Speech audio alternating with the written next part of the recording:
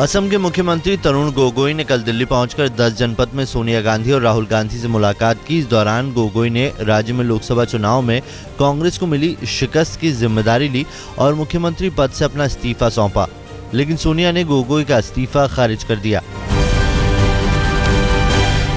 राहुल के सलाहकारों पर सवाल उठाने वाले मिलिंद देवड़ा के खिलाफ महाराष्ट्र प्रदेश कांग्रेस रिपोर्ट तैयार कर रही है। महाराष्ट्र प्रदेश कांग्रेस अध्यक्ष मानिक राव ठाकरे का कहना है कि वो रिपोर्ट हाईकमान यानी कि सोनिया गांधी को भेजेंगे। फिर सोनिया ही तय करेगी कि मिलिंद देवड़ा पर क्या कार्रवाई करना चाहिए। जो भी स्टेट लेवल पे कोई नेशनल लीडर्स या कोई एमपी इस तरीके से बयानबाजी करते हैं तो उनकी रिपोर्ट जो है मैं स्टेट हमारा हाईकमांड जो है उनके पास भेजते रहता हूँ। कांग्रेस नेता अनिल शास्त्री ने मिलिंद देवड़ा के बयान पर प्रतिक्रिया देते हुए कहा है कि हार की कोई एक वजह नहीं होती। राहुल गांधी ने अपनी ओर से जीत दिलाने के लिए कोई कोर कसर बाकी नहीं रखी थी। हम हार की समीक्षा करेंगे। इसके लिए सिर्फ़ कुछ लोगों को जिम्मेदार ठहराना वाजिब नहीं। पंजाब के जेल मंत्री सरवण सिंह फिलौर ने इस्तीफा दे दिया है। ड्रग्स रैकेट की जाँच में जुटी ईडी की टीम ने जेल मंत्री के बेटे को पूछताछ के लिए बुलाया था। इसे बादल सरकार की छवि सुधार की नज़रिए से देखा जा रहा है। कि हमारे परिवार के मेंबर का नाम ड्रग में आ रहा था। तो मैं नहीं ये चाहता, क्योंकि मैंने जिस पार्टी में 40 साल काम किया, उस पार्टी की चर्चा हो।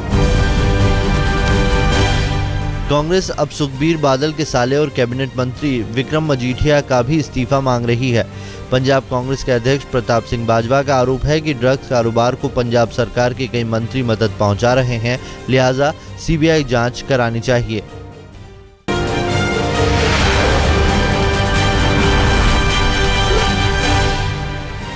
सोनिया से मुलाकात के बाद लालू यादव ने कहा कि लड़ाई का अभी अंत नहीं हुआ है। हम सब पड़ाव पर रुके हैं। बीजेपी ने जो अच्छे दिन का सपना दिखाया, आगे हम लोग ही उसे लाएँगे।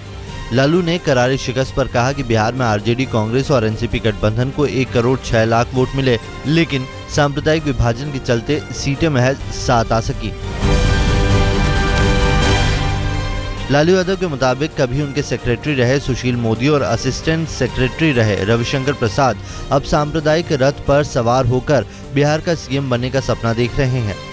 उनके सपने को तोड़ने के लिए ही जेडीयू से हाथ मिलाना पड़ा और बिना शर्त मुख्यमंत्री जीतन मांझी की सरकार को समर्थन दिया। लालू पाँच जून को पटना में आरजेडी की बैठक में हार की समीक्षा करेंगे।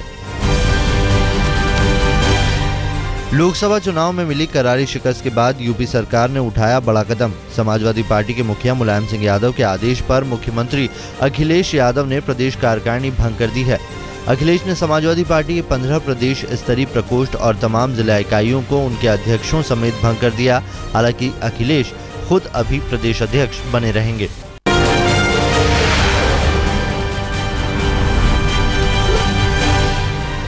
विश्व हिंदू परिषद के नेता अशोक सिंघल ने फिर से अयोध्या राम मंदिर मुद्दा गर्मा दिया। सिंघल ने कहा कि अयोध्या में राम मंदिर का निर्माण ज़रूर होगा। बीजेपी को इसी बात का प्रचंड जनादेश मिला है। अशोक सिंघल एनआरआई उद्योगपति बीके मोदी के घर बीजेपी सांसदों की भोज में शिरकत करने आए थे। जब फुल मैंडेट है तो कौन सी चीज़ संभव है? तो आप आशावादी हैं कि राम मंदिर की तरफ़ भाजपा आशावादी इसी के लिए आए हैं वो। मगर बोला नहीं उन्होंने।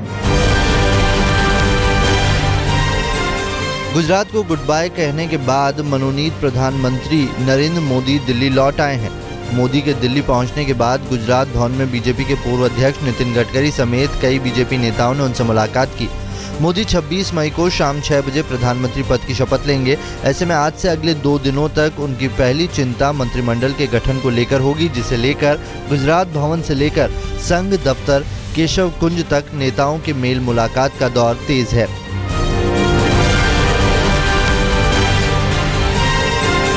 नरेंद्र मोदी आज जब दिल्ली में सरकार गठन की रणनीति बना रहे होंगे तो उनकी नज़र सरहद पार भी टिकी होगी।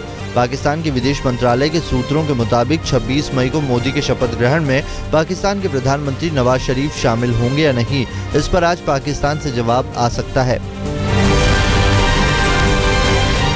गौरतलब है कि मोदी ने नवाज़ शरीफ समेत सभी सार्क देशों के नेताओं को शपथ ग्रहण में शामिल होने का न्यौता दिया है। श्रीलंका के राष्ट्रपति महिंदा राजपक्षे, अफ़गानिस्तान के राष्ट्रपति हामिद करजई, भूटान के पीएम शेरिंग टोपके, नेपाल के पीएम सुशील कोइराला, मालदीव के राष्ट्रपति अब्दुल्ला यामीन अब्दुल गयूम ने न्योता स्वीकार कर लिया है। बांग्लादेश के बारे में खबर है कि वहाँ से स्पीकर शिरीन शर्मिन चौधरी मोदी के शपथ ग्रहण में अपने देश का प्रतिनिधित्व करेंगी क्योंकि प्रधानमंत्री शेख हसीना जापान यात्रा पर गई हुई हैं। नरेंद्र मोदी को कल अहमदाबाद में भव्य विदाई दी गई। गुजरात सरकार के तमाम मंत्री और बीजेपी के पदाधिकारी मोदी को विदाई देने के लिए एयरपोर्ट तक पहुँचे। नेताओं ने मोदी को फूल के गुलदस्ते भेंट किए मोदी बारी बारी से तमाम मंत्रियों और नेताओं से मिले मीडिया से बातचीत में मोदी ने सबका शुक्रिया अदा किया और सबसे आखिर में कहा आवजो गुजरात यानी गुड बाय गुजरात विमान पर चढ़ते वक्त उन्होंने हाथ हिलाकर सबका अभिवादन भी किया